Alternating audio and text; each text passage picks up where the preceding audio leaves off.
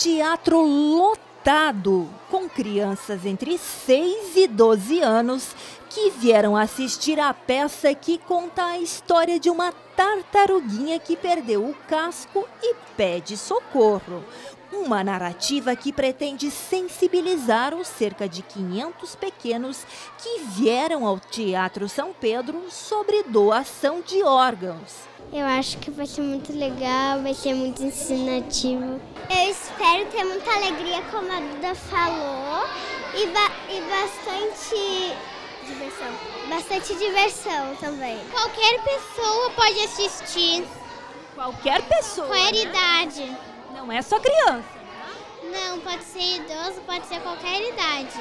Na plateia, quem espera na fila do transplante renova a esperança por uma história como a contada na peça, com um final feliz. A Luana, mãe do Pedro, de 8 anos, que está desde fevereiro esperando para fazer um transplante duplo de pulmão, veio até o Teatro São Pedro buscar um pouquinho de esperança. A gente precisa conscientizar, as pessoas ainda têm muito preconceito em relação ao transplante, né? As pessoas têm um desconhecimento, na verdade.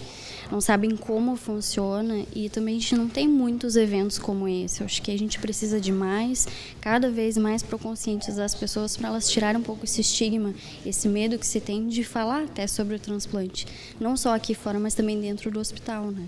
fazer com que eles sejam multiplicadores depois para a família deles e que pelo menos eles conversem sobre esse assunto, né? Que muitas vezes é um tabu, muitas vezes a família não quer falar, porque é um assunto bem delicado. Então, a, a, nossa ideia é despertar essa consciência, essa curiosidade e fazer com que esse assunto seja abordado dentro de casa. No Brasil, são mais de 30 mil pacientes cadastrados em lista de espera para um transplante de órgão como rim, fígado, coração, pulmão, pâncreas e córnea. Só no ano passado, 1.300 pessoas morreram na fila de espera. E é para reverter esse quadro e conscientizar a população que a peça está em cena em vários municípios gaúchos e em diversos estados. A gente não conversa só sobre doação de órgãos, a gente conversa sobre o cuidado com a saúde, a doação de sangue, a importância disso, ah, como é que faz isso, né? conversar sobre isso com a sua família.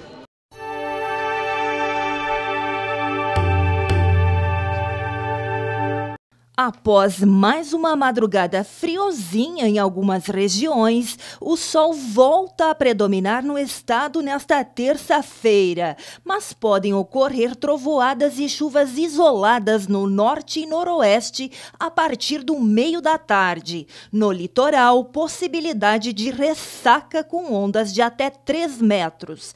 Na capital, dia lindo de primavera, com mínima de 14 e máxima de 27 graus. Em Capão da Canoa, no litoral norte, as marcas variam entre 13 e 26 graus. Em Ametista do Sul, no noroeste gaúcho, as temperaturas vão de 19 a 30 graus.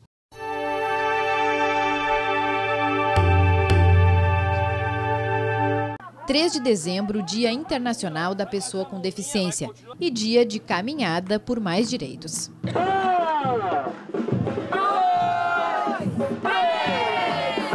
A equipe do Educandário São João Batista organizou o evento chamando atenção para a acessibilidade todo o deficiente físico ele precisa de ter todo esse apoio, tanto da família quanto dos poderes públicos. Então a gente precisa que esses direitos sejam respeitados.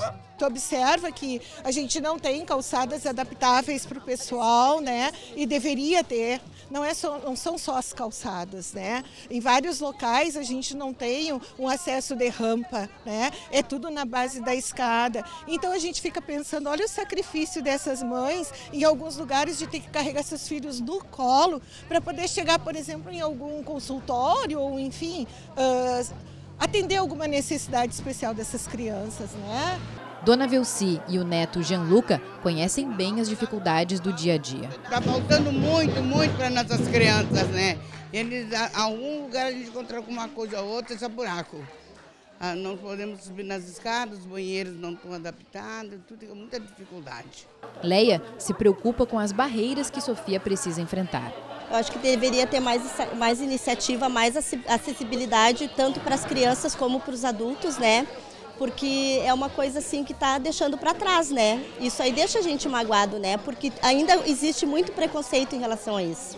A caminhada de algumas quadras terminou em um espaço dedicado à arte parceiro do educandário. Lá conhecemos o Gustavo, um atleta de badminton com vontade de ensinar. Jean se interessou e saiu um jogo.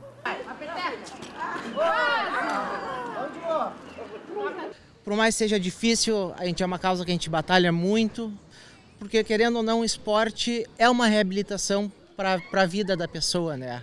É importante para o bem-estar, faz a pessoa se sentir bem, confiável, contente, feliz. Então a gente vem batalhando por essa causa. A atividade do educandário foi uma, entre outras, que devem ocorrer na programação do Porto Orla Acessível. Na página, há todos os eventos que serão realizados até o próximo sábado. O educandário São João Batista é mantido com doações. Quem quiser dar uma forcinha, pode entrar em contato pelo telefone ou pelo site. Com o evento Magia Inclusiva do Natal, abriu nesta segunda-feira o Natal Alegre 2019. São cerca de 70 atividades promovidas pela Prefeitura da capital e que vão acontecer até o dia 25 de dezembro.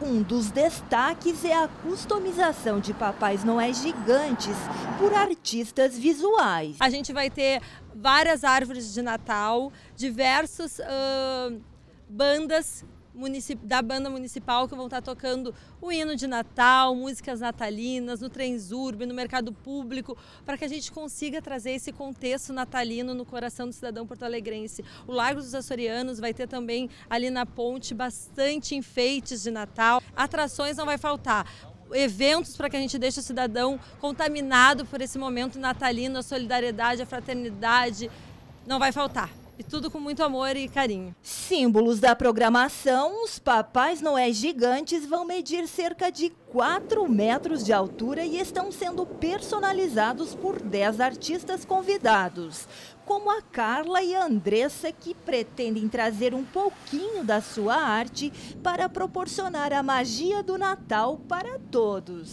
Eu tenho uma filha pequena, então eu sei o que, que representa o Natal uh, para as crianças em geral, inclusive as crianças de rua, eu vou dizer, sabe? As crianças em geral, porque a magia do Natal, ela toca as pessoas, né? Então eu acho muito importante, mesmo quando as pessoas, assim, não querem acreditar, elas são... Uh, é uma coisa que domina as pessoas nessa época, né? Fui espiar o trabalho dos colegas aqui e cada um está com um trabalho diferente, está com um trabalho bem interessante. Eu acho que isso aí vai, dar, vai trazer bastante diversidade assim, para a cidade, né? Os Papais Noé Gigantes serão espalhados pela cidade a partir do dia 9 de dezembro. Os locais de exposição e demais eventos da programação do Natal Alegre podem ser consultados no site da Prefeitura.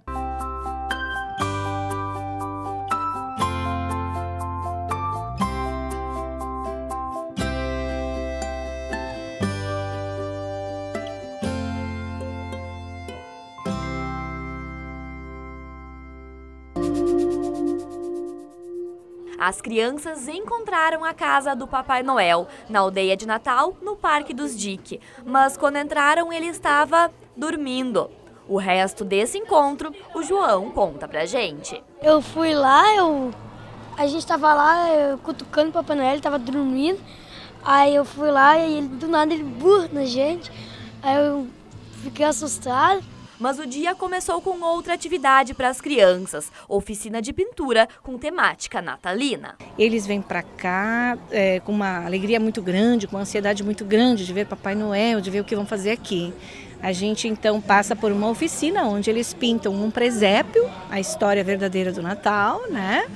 E esse presépio é em MDF, é uma peça em MDF bem bonita que as crianças gostam muito. E é muito bonito de ver que eles relatam assim, que eles têm as peças dos anos anteriores. Eles chegam e contam, prof, eu tenho meu Papai Noel do ano passado. Diz que legal, vamos fazer uma coleção então, para montar a história toda. E é muito bacana de ver assim a criança, independente do tamanho, os pequenos ou os grandes, todos entram dentro da magia, da fantasia do Natal e acreditam no Papai Noel. Oficinas acontecem diariamente. Quem quiser conhecer o espaço, é só passar por lá. Nós iniciamos no dia 25 de, de, de novembro com um agendamento prévio, né? Então eu tenho todo um esquema até o dia 20 de dezembro, por onde passarão 2.600 crianças aproximadamente. Mas assim, a turma chega aqui, passa pela oficina, passa pelo Noel e depois brinca pelo parque e retorna. O Noel fica aqui e eu também fico, a casa está aberta. A gente atende as pessoas que vêm nos procurar durante o dia, a gente conversa, recebe, atende. Se eles derem sorte do Noel ainda estar, o Noel também conversa, né? Mas a gente atende. Inclusive, a gente já viu assim pessoas, é, uma família de Portugal que passou por aqui. Ontem teve uma família de Brasília que passou por aqui. Isso nos deixa muito contentes, sabe? Porque a procura é, pela aldeia está bem legal, assim. A comunidade realmente está abraçando a aldeia. Cada um dos pequenos teve um momento individual de conversa com o Papai Noel, que fez algumas perguntas para eles. Se a gente foi um bom menino no na escola, no projeto e em casa. E tu foi um bom menino durante esse ano? Mais ou menos.